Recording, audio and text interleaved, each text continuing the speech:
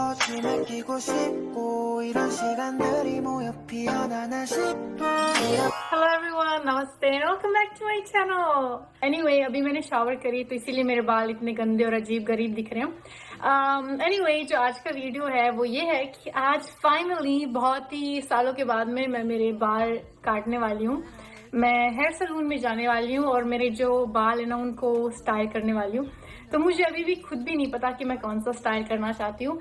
मुझे बहुत ही चिंता है क्योंकि मैं यूजुअली मेरे बालों को ज़्यादा केयर नहीं करती हूँ और मैं हमेशा सेम ही हेयर स्टाइल रखती हूँ तो इसीलिए मुझे अभी कुछ नया कुछ नया एक्सपेरिमेंट करना है। मुझे बहुत ही डर है कि कहीं मैंने गलत हेयर स्टाइल चूज़ कर लिया और वो गंदा दिखे तो मैं क्या करूँगी? मेरा जो पूरा अपीयरेंस है ना, वो खराब हो जाएगा। I am so so worried but also excited to try a new hairstyle तो अभी मैं सोच रही हूँ कि मैं बैंक्स रखूँ या ये सेम हेयर स्टाइल रखूँ या कर्ली हेयर या स्ट्रेट हेयर तो अभी मैं हेयर सलून जाकर वहाँ पर और सोचूँगी कि मुझे कौन सा हेयर स्टाइल चाहिए। So I am gonna call a taxi and I see you guys later bye तो मैंने कोट और मास्क पहन लिया है और नीचे मेरी टैक्सी इंतज़ार कर रही है तो मुझे जल्दी से ही नीचे जाना है। टैक्सी पकड़नी है और हेयर सलून जाना है। Hello here is my BTS sticker let's go let's go hurry up hurry up. Oh, somebody forgot cigarette and lighter here. Anyway, where's my taxi? Where is my taxi? 안녕하세요.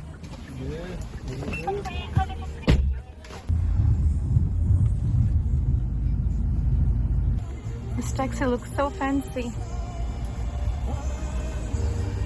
아이폰이에요. 아이폰? 네. 어. 네, 이거 좋아. 아저씨는 어떤 핸드폰 가지고 아, 있으세요? 삼성 삼성? 어, S21. 아, 저도 그 고등학교 다닐 때 샘송 많이 사용했어요. 아, 삼성 아주. 네. 근데 제가 그때는 이탈리아에서 살았어요. 그래서 나 삼성 일본 거일 줄 알았어요. 어, 삼성 코리아. 네. 이탈리아도 좋지. 아, 이탈리아에서 왔어요? 네. 어, 이탈리아 좋지. 네. 이 자동차 또 아르지잖아. 네. 근데 지금 좀 난리가 났어요. 코로나 때문에. 아, 맞아. 이탈리아 코로나에 마스크를 안 통한. 네. 아, 맞죠. 이 마스크. 코리아 한국 사람들 같이 마스크 해야 돼. 네. 한국에서 최고예요. I just realized that my videos are so repetitive. जब भी मैं taxi लेती हूँ तो मैं taxi driver के साथ बात करती हूँ फिर आपको वो दिखाती हूँ so my videos are just getting the same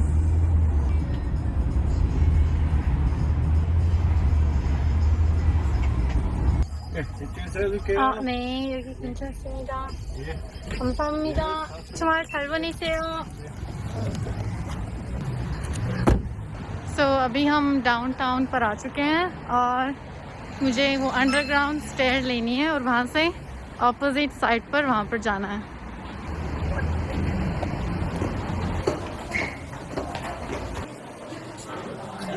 यहाँ पर है अंडरग्राउंड मार्केट जिस दिन मेरे पास थोड़ा टाइम होगा ना तो मैं आपको ये जो अंडरग्राउंड मार्केट है ना, वो दिखाने लेके आऊँगी।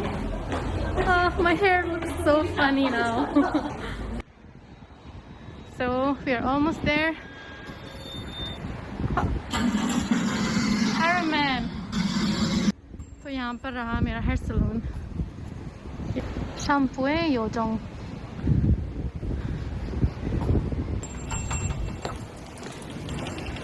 안녕하세요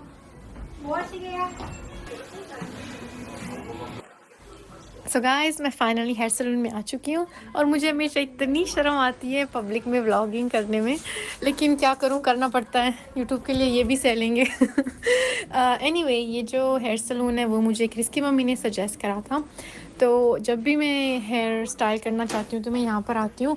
और जो लोग यहाँ पे काम करते हैं, उनके पास बहुत ही एक्सपीरियंस है और वो बहुत अच्छा काम करते हैं। और जो प्राइस है, वो काफ़ी अफोर्डेबल और रीज़नेबल है।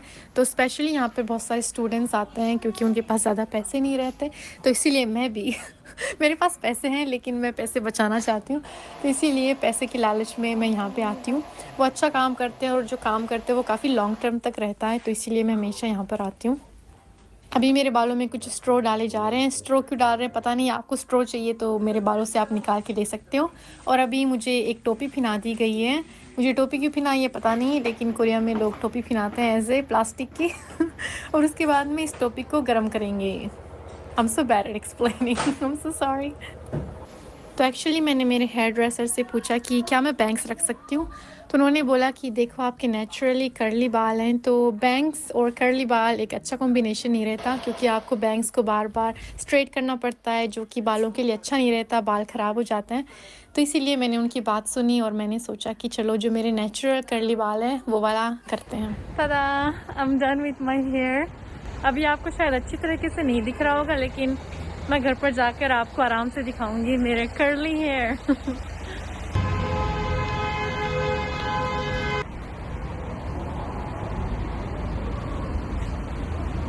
अभी यहाँ पर बीटीएस का गाना चल रहा है तो इसीलिए मैं थोड़ी देर रुकूँगी यहाँ पे गाना सुनने के लिए। स्टारबक्स जाने से पहले मैं इस लाइब्रेरी में जाऊँगी। और ये जो लाइब्रेरी है ना, यहाँ पर बीटीएस के कुछ एल्बम भी मिलते हैं तो मुझे देखना है कि यहाँ पे कौन से एल्बम है।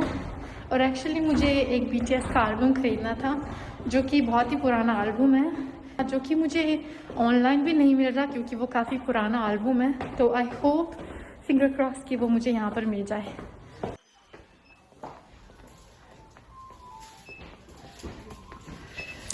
तो वेलकम बैक टू पूज वॉइस ओवर क्योंकि एक लाइब्रेरी स्लैश बुक स्टोर है तो यहाँ पर मैं बात नहीं कर सकती क्योंकि लोग डिस्टर्ब होते हैं।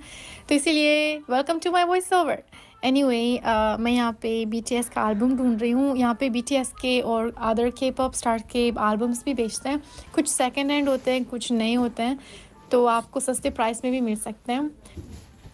और जो एल्बम मुझे चाहिए वो है एक 2015 का एल्बम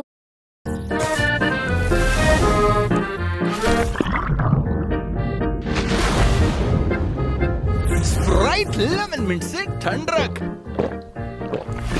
अब मिल रही है तो खरीद भी लो। जिसका नाम है the most beautiful moment in life part one and part two तो मुझे दोनों पार्ट्स चाहिए। मैंने बहुत कोशिश करी उस एल्बम को ऑनलाइन सर्च करने में, लेकिन ऑनलाइन मुझे सेकेंड हैंड मिला और उसकी क्वालिटी बिल्कुल भी अच्छी नहीं थी। और पर्सनली मुझे बीटीएस का नया एल्बम चाहिए, मुझे सेकेंड हैंड नहीं चाहिए। और यहाँ पर जो इस बुक स्टोर में है ना, यहाँ पर आपको सेकेंड हैंड भी मिलेंगे, लेकिन उनकी क्वालिटी बहुत ही अच्छी है। शायद वो एक या दो बार इस्तेमाल करे हुए हैं और न्यू एल्बम भी आपको मिलेंगे।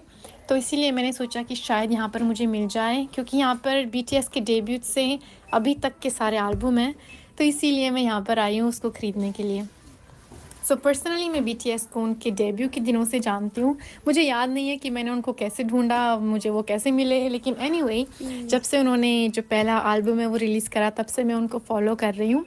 और एक तरीके से मैं उनके साथ बड़ी हुई हूँ फली बड़ी हुई हूँ और वो मेरे साथ पले बड़े हुए हैं। तो उनके साथ एक बहुत ही डीप और इमोशनल कनेक्शन है। तो बेसिकली मुझे बी टी एस की ए बी सी डी पूरी पता है। एनी वे प्लीज़ आप कमेंट में बताना कि आप आर्मी कब से हैं, आपका फेवरेट एल्बम कौन सा है, आपका फेवरेट सॉन्ग कौन सा है और क्यों वो आपका फेवरेट सॉन्ग है, क्यों वो आपका फेवरेट एल्बम है। और एक्चुअली कुछ दिन पहले मुझे मेरे पुराने कंप्यूटर में बीटीएस के पुराने वीडियोस मिले थे। तो अगर आप उनको देखना चाहते हैं तो मैं एक अलग चैनल बना सकती हूँ खासकर बीटीएस के लिए और उनके जो पुराने वीडियोस हैं वो अपलोड कर सकती हूँ ताकि कि आप उनको देख सकते हैं कि तब वो छोटे से थे बच्चे से थे तो वो क्या हरकत करते थे। तो please let me know in the comment if you want see that guys जो मुझे एल्बम चाहिए था वो मुझे नहीं मिला Uh, क्योंकि वो बहुत ही पुराना एल्बम है और उसका नाम है the most beautiful moment in life part one और उसके जो, उस सीडी के जो गाने ना, मुझे बहुत ही बहुत ही पसंद है। लेकिन मुझे नहीं मिल रहा, मैं क्या करूँ? कोई बात नहीं, मैं कोशिश करती रहूँगी, तब तक वो मुझे ना मिले। ये है यहाँ की सबसे फ़ेमस ओल्ड बेकरी और यहाँ पे जो केक्स वगैरह ना वो बहुत ही बहुत ही डिलीशियस है। तो मैं यहाँ से कुछ लेके जाऊँगी। Everything is sold out here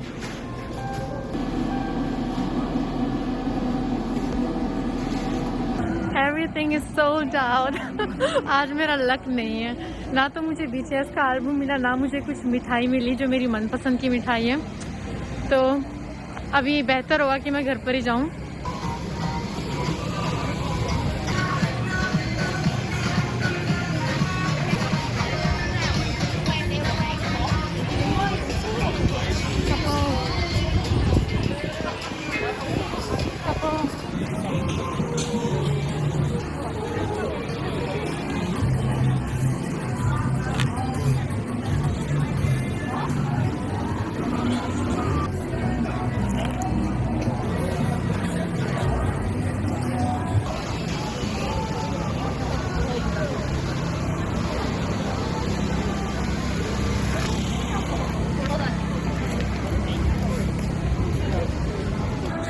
Korea में बाहर घूमने जाओगे ना तो आपको कपल्स इतने सारे मिलेंगे, इतने सारे मिलेंगे मतलब कि आप थक जाओगे उनको देख देख के।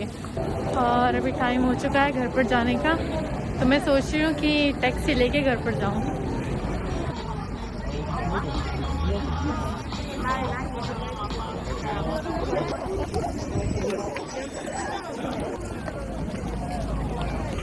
तो टैक्सी यहाँ पर है एक टैक्सी हाँ सुबह मेरा टैक्सी चली गई दूसरी पकड़नी पड़ेगी यहाँ पर इंतज़ार करते हैं नई टैक्सी का टैक्सी 안녕하세요 여기 괜찮습니다 여기요? 네 감- 감사합니다 안녕히 계세요 추월 잘 보내세요 फाइनली अभी मैं ऑलमोस्ट घर पर आ चुकी हूँ। मैं बहुत थक चुकी हूँ। मेरा मन था कि मैं थोड़ी और शॉपिंग करूँ, लेकिन मैं बहुत ही थक गई, इसीलिए मेरे को सिर्फ़ घर पर जाना है और डिनर खाना है। और ये रहे मेरे बाल करली करली बाल। So finally I can show you guys my hairstyle so मैंने सोचा कि मैं वापस मेरे जो ओरिजिनल हेयर है, जो मेरे करली हेयर है, उनको वापस मैं, उनका कम बैक करूँ। और जब मैं कोरिया में आई थी तो मैं बहुत ही तंग हो चुकी थी मेरे करली हेयर से तो मैंने उनको परमानेंटली स्ट्रेट करा था। लेकिन इन दिनों में मेरे करली हेयर बहुत ही बहुत ही मिस कर रही थी तो इसलिए मैंने सोचा कि चलो वापस करली हेयर का कम करते हैं। तो इसीलिए ये रहे मेरे हेयर आप प्लीज़ कमेंट में बताना कि कौन से हेयर मुझे ज़्यादा सूट करते हैं स्ट्रेट या फिर कर्ली अभी खाना आ चुका है और मुझे गेट खोलना पड़ेगा। ओके मंग मंग भी काफ़ी एक्साइटेड है क्योंकि खाना आने वाला है, लेकिन इसके लिए नहीं है। वे नो वे रुके। ना you can not jump even though you jump you are not gonna get the food मम्मा इसके अंदर है जापानीज स्टाइल नूडल यो सुशी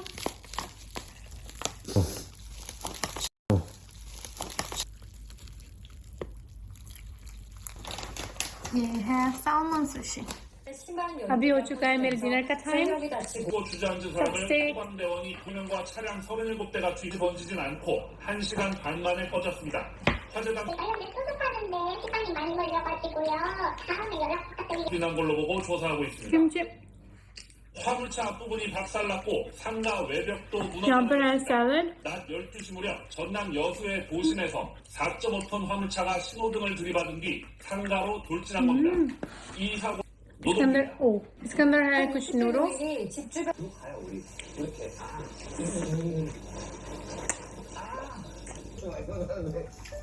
सॉस इसके अंदर है पोर्क मीट बहुत ही बहुत ही टेस्टी है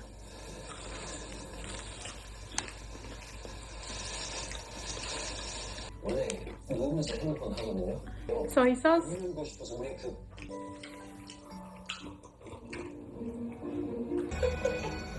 어느 마피아 집안에 가훈이 하나 있어요. 세상에서 가장 강한 주먹은 뒤에서 때리는 주먹이다. 그렇죠. 싸움을 원래 치사한 거야. 치사한 승리는 상대방에게 모멸감을 주게 돼서 효과가 더 좋죠. 그럼 정말 빨리 알아봐야 돼.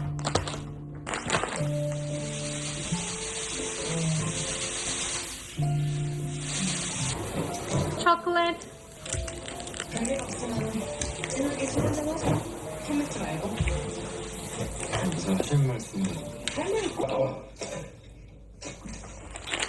So I'm done with my dinner and now I'm gonna remove my makeup brush my teeth और उसके बाद में जो रिमेनिंग एपिसोड है ना विंचेंसो का, वो वाला मैं देखूँगी। तो आज के लिए सिर्फ़ इतना ही। आई होप कि आपको आज का भी ब्लॉग पसंद आया होगा and I see you very soon in my next video bye take care bye bye